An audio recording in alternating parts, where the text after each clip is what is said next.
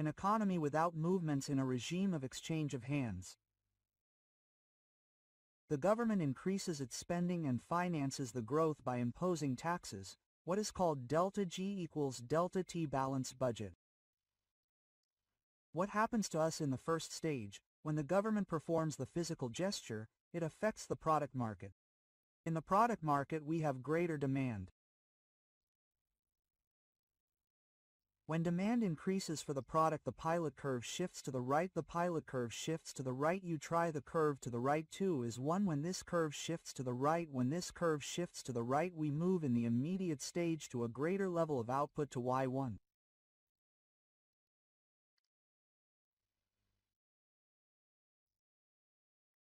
When the product increases at this point we call it B. When the product increases the output increases because it was positively dependent on the output. When the output increases the demand for voltage increases. That the demand for voltage increases so here in the voltage market that has normal demand and supply curves. The demand for voltage will increase because we now have a desire to consume more voltage. So that's why we need more than the demand for voltage. And what will happen in the immediate phase will be a depreciation in the exchange rate. A depreciation in the exchange rate again affects output in the way that production affects it. That is, the depreciation has now caused an increase in production. The increase in production will be reflected again in a shift to the right of the IS curve. A shift to the right of the IS curve to ISIS2.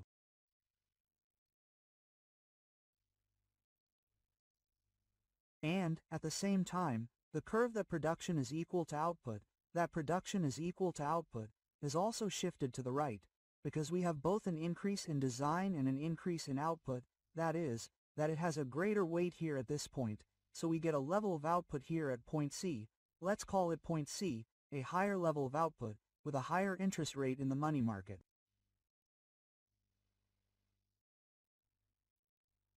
An increase in output will lead to an increase in the demand for money, so we will have a shift to the right of the curve to and a higher interest rate in the money market. We will now see this diagram using letters. So we have this situation. The situation described in the first stage, the government increases G.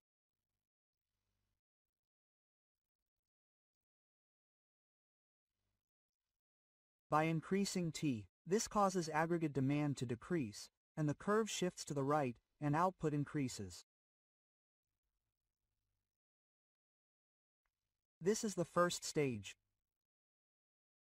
In the tension market, an increase in output.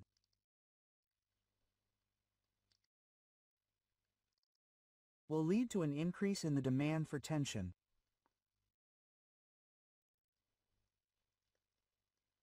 It increases.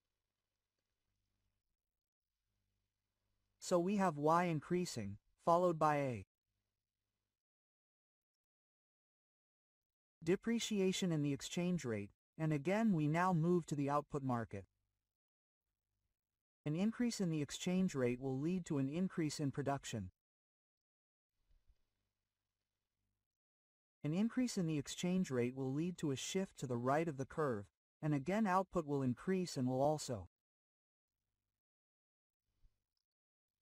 Move to the right.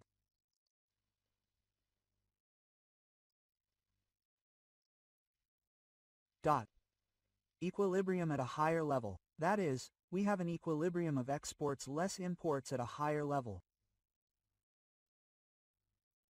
The final result of all this happening, which we characterize through the sources and uses statement and through the capital account statement, so what happens to us in terms of GDP is that in the end, GDP in the economy increases, CG increases because we started from what we had, we had an increase in government spending, I, we saw, is small because the rest of the interest rate increases, and the question is what happens to C, C, does C increase or does C decrease?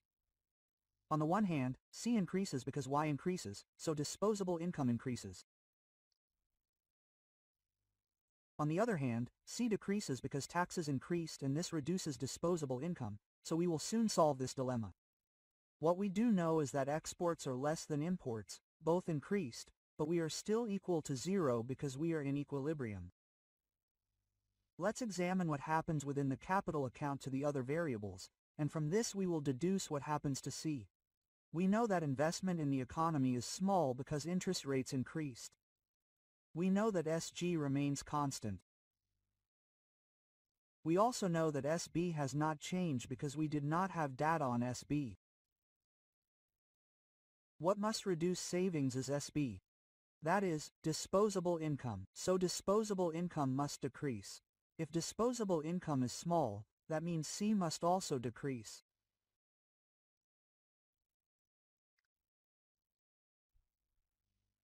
So through the generation of capital indicators, we learn that private consumption in the economy is small and what happens to savings for the general S and national savings is also small, meaning the final result I is small s is small c is small y is poor exchange rate.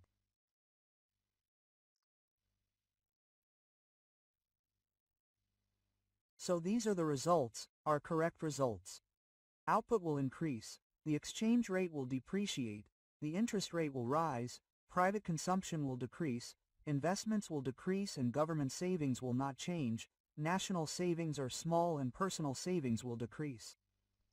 These are the correct results. M.